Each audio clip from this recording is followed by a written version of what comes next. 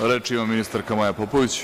Nikada nisam izgovorila naša i vaša televizija. Upravo ste vi ti koji ste rekli naši i vaši profesori, rekli su ustavnog prava, koliko se sećam. Pa u radnim grupama su upravo bili eminentni profesori Pravnog fakulteta u Beogradu i Pravnog fakulteta u Novom Sadu. Tako da ne znam ko su ti eminentni profesori ustavnog prava koji su na tim nekim vašim televizijama nastupali, a da su oni eminentni od profesora, redovnih profesora Pravnog fakulteta u Beogradu i Pravnog fakulteta u Novom Sadu, naravno drž, na, mislim na državne fakultete, ne želeći da uvredim i one druge privatne. Hvala. Nikola Dragićević. Poštovani građani, ministre u Vladi Republike Srbije, poštovana gospođo Popović, juče ste posle izlaganja jednog od mojih kolega rekli da ne znate za izjavu nemačkog ambasadora datu pred referendum i da vas ona preterano ne zanima. Ja ću vas danas ipak podsjetiti na njegovu izjavu koju je dao 2. januara neposredno pred održavanje referenduma. Radi se o nemačkom ambasadoru Tomasu Šibu. U izjavi za jedan beogradski medij on je rekao ovom reformom će Srbija napredovati na putu ka Europskoj uniji, a ubedljivo da 16. januara bilo bi veoma važno na tom putu. Poslanici Srpske stranke Zavetnici u danu za glasanje neće podržati predloženi set zakona, pre svega zato što on dolazi pod pritiskom stranih ambasadora, pre svega onih zapadnih, zato što dolazi pod pritiskom Venecijanske komisije, čije predloge i čije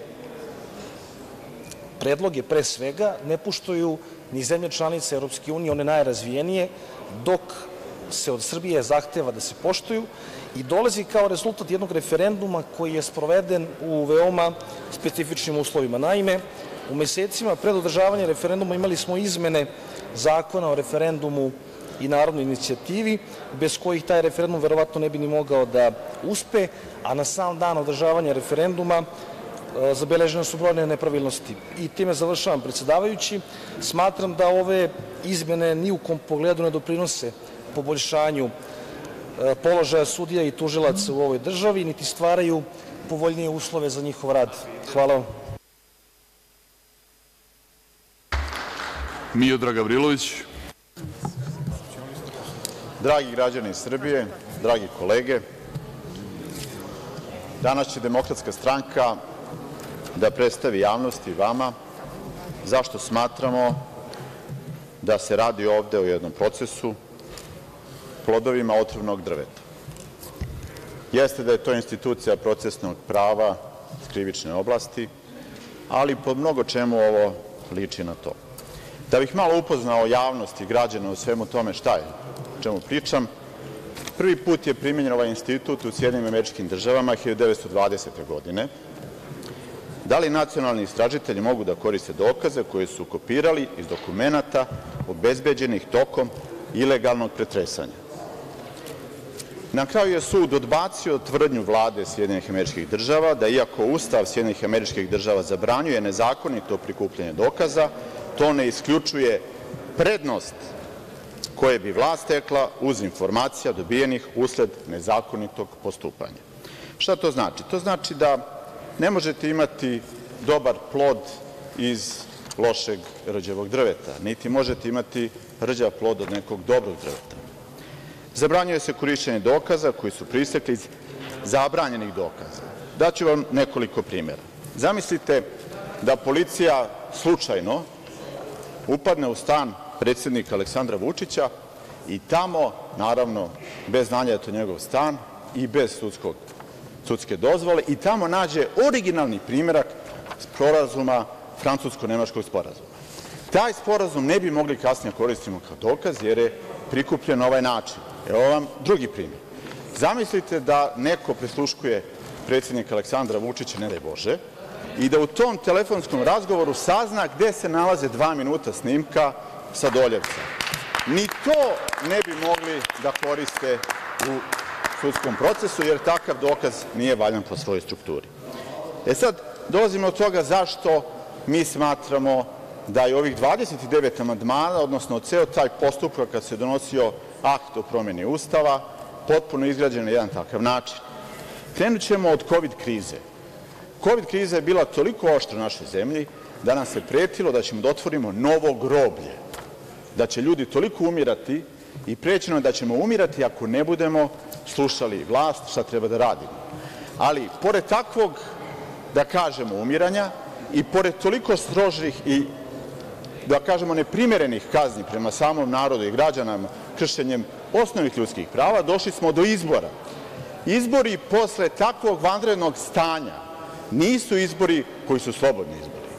Opozicija nije mogla ne samo da ima pristup medijima, nego nije mogla da ima svoje osnovna ljudska i građanska prava u tom izbornom procesu. Zato ga potpuno osporavamo. Ono što je rezultat toga jeste da je u toj Skupštini bila takva većina da je samo jedan poslanik rekao ne pripadam toj većini. Ako pričamo, ako pričamo o tome gde se mi danas nalazimo i šta je za nas kao državu važno i pričamo o pluralizmu i pričamo o poštovanju i uvažavanju drugačijeg mišljenja, bez obzira koliko ljudi zastupa to mišljenje, ako govorimo o argumentima, gde su, gospodo, argumenti javne rasprave pre usvajanja tog akta u takvoj Skupštini? Zato je to po našem mišljenju, potpuno nelegitiman način usvajanja jednog vrlo važnog akta. A da to ne bude kraj, onda se donosi zakon o referendumu koji propisuje drugačije uslove, koji će omogućiti da i 16% izašlih građana bude dovoljno da se usvoje predlozi koje je uradila takva krnja i nelegitimna Skupština. Demokratska stranka smatra ne samo da je to jedno otrovno drvo koje će iznedriti otrovan plod koji ćemo mi danas ovde i sutra pokušati da oborimo i da ukažemo i da zamolimo da odložimo za neki drugi period, ali koliko vidim nema nekog razumevanja sa vaše strane. Ono što je zanimljivo u predlozima koje vi donosite, koje smatramo jako lošim, jeste sledeće. Zamislite sada Visoki savet tužilaštva i sad se u njoj nalazi Zagorka Doljevac, Dolovac. I sada Zagorka Dolovac, koju niko ne viđa ovih dana, ona će neviđeno da donosi neviđene odluke tog Visokog tužilaštva. Ono što je za nas važno u Demokratskoj stranci jeste da taj tužilac bude dostupan javnosti, da bude dostupan građanima, a ne da se krije. To je javno tužilaštvo, nije tajno tužilaštvo. Ono treba da bude viđeno, a ne neviđeno. To su osnovne stvari koje su problem da možemo da prihvatimo, da dajemo legitimitet ovakvom celom procesu. Hoću da kažem da se veliki broj ljudi javljao nama kao poslanicima, a i samom odboru, između ostalog i Transparentno Srbija, koja je tražila da pomerimo razmatranje svih ovih zakona za neki drugi period. Ja sam predložio na odboru da se donese novi dnevni red, da će se razmatranje da se uputi na zahtev Vlade Republike Srbije za dodatne informacije uz obrazloženje dostavljenih predloga zakona i celovit izveštaj sa održanih javnih rasprava, jer legitimnost tih javnih rasprava je takođe dovedeno u pitanje. Postoji forma, ali ne. Gospodine Vinš, i pitao sam vas na odboru, kad ste zakazali da imamo To je bilo Da li se znao? U kompletno kom vreme gradu, u koje vreme? Nadam se da ćemo narednih dana da nastavimo ovu raspravu i pokazat ćemo upravo ovo što danas govorimo. Znate da hoćemo, tek nas očekuje rasprava u pojedinostima. Doduše, tu ćemo da vidimo vaše, kako ste rekli, pravo da ne budete ovde. Pravo na repliku.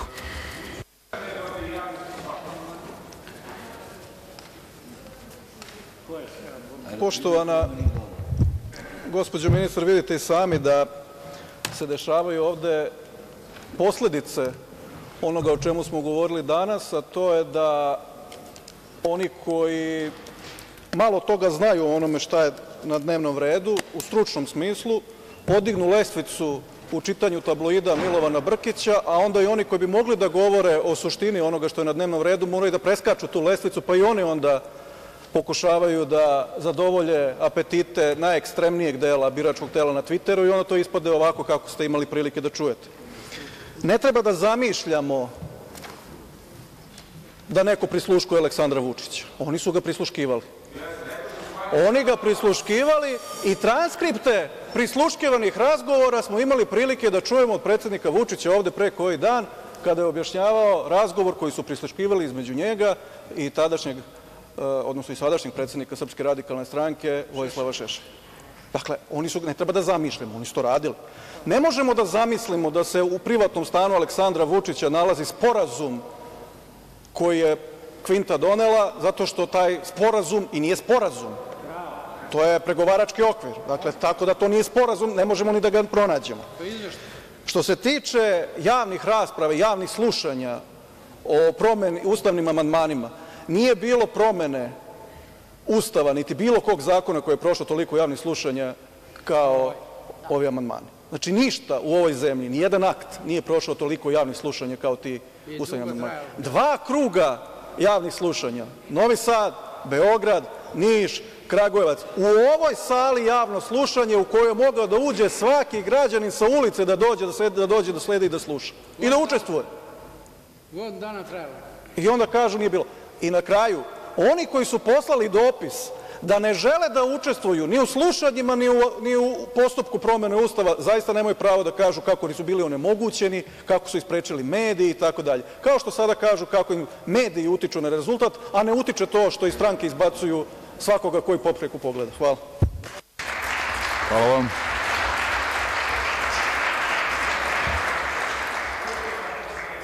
Još neko od ovlašćenih predstavnika, predsednika?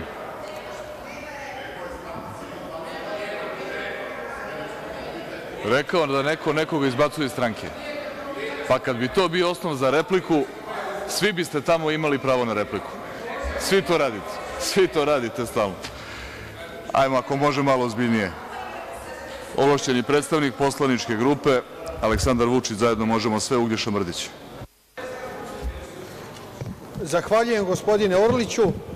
Uvažena ministarko sa svojim saradnikom, uvažene kolege narodni poslanici i građani Republike Srbije, imali smo prilike u ova dva dana da vidimo zašto je dobro da podržimo sve predložene zakone i sporazume. Dobro je da ih podržimo prvenstveno zbog interesa Republike Srbije, dobro je da podržimo i na taj način ustavne promene u oblasti pravosuđa, to je ceo set pravosudnih zakona. Zašto? Na taj način mi ćemo da izmestimo izbor sudija iz Skupštine Srbije, omogućićemo jaču vladavinu prava i naravno dovešćemo Srbiju u jedan viši nivo i vladavine pravnog poretka, ali i lakše dalje borbe protiv svih onih pošasti u našem društvu, a koje su bile do 2012. godine. Ja razumem nervozu kod dela opozicije, ja razumem i kritiku.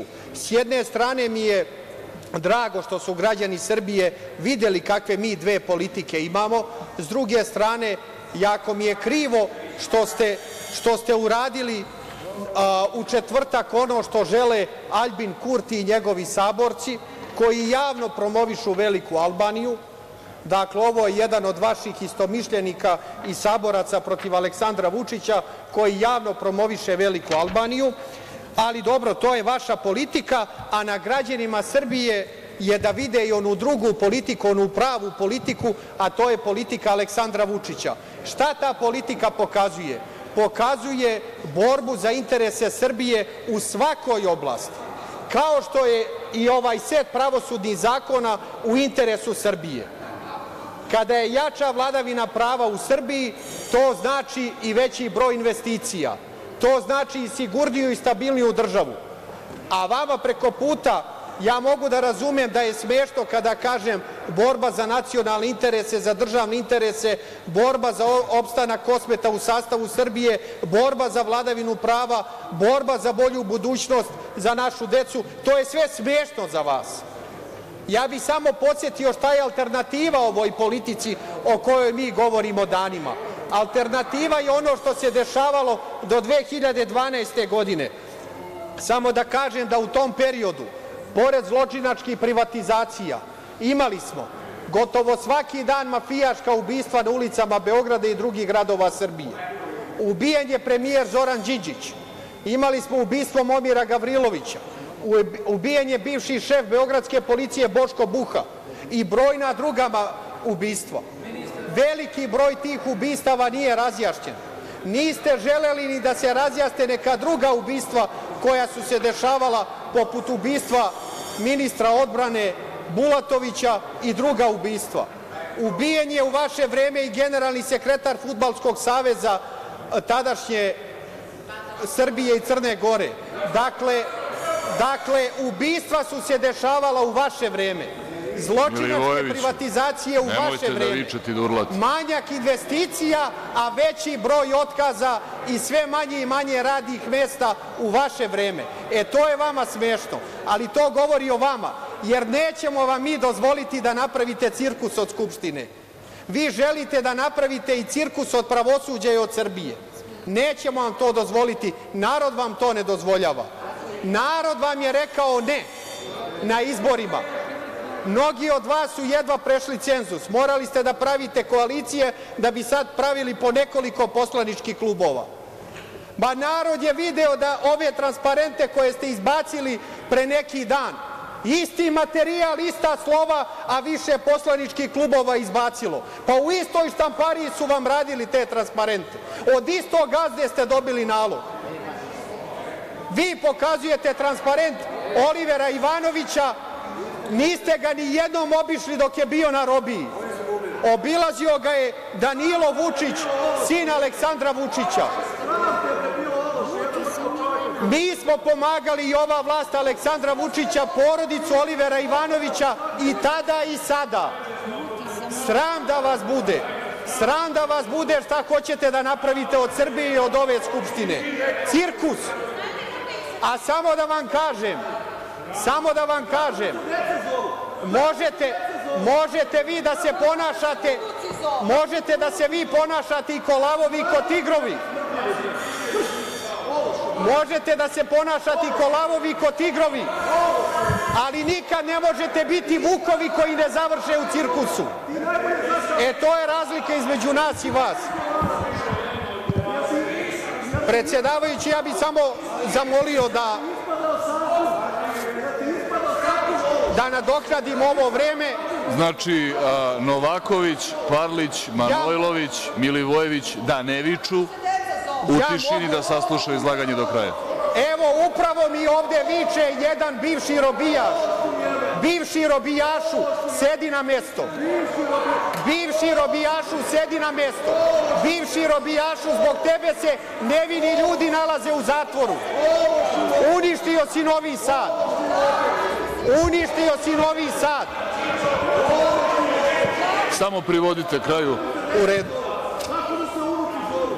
Ja mogu da razumem nervozu kod ovih predstavnika opozicije i što napadaju Miloša Vučevića koji je uz podršku Vučića i Vlade Srbije spasio Novi Sad od ovakvih pojava. Na kraju, poštovani narodni poslanici, ja vas pozivam da svi zajedno podržimo set pravosudnih zakona i zakona iz oblasti nauke i sve predložene sporazume, da podržimo jedan sjajan rad i Ministarstva pravde i ministarke Maje Popović i radne grupe i radne grupe u kojoj su bili eminentni advokati i profesori pravnih fakulteta i normativci iz Ministarstva pravde i Vlade Srbije, tužioci i sudije. Zato što je podrška ovim zakonima i sporazumima u interesu svih nas i građana Republike Srbije, a naša stranka i naša vladajuća koalicija podržava politiku Aleksandra Vučića koja je najbolja i koja vodi ovu našu Srbiju u sigurnu i bolju budućnost. Zahvaljujem.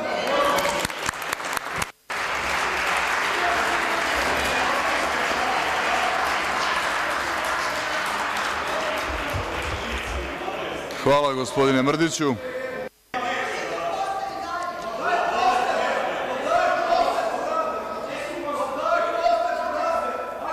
Šta da vam kažem? Videli ste i sami. Izgleda taj poster služi samo za kadar, samo za kameru.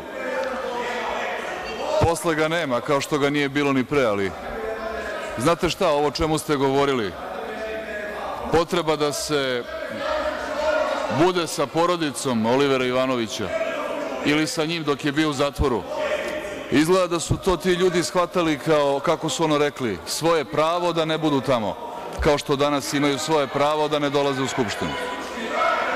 Ovime zaključujem zajednički načelni jedinstveni pretres o predlozima akata iz tačaka od 1. do 32. dnevnog reda. Raspravu u pojedinostima počinjemo u utorak u 10 časova.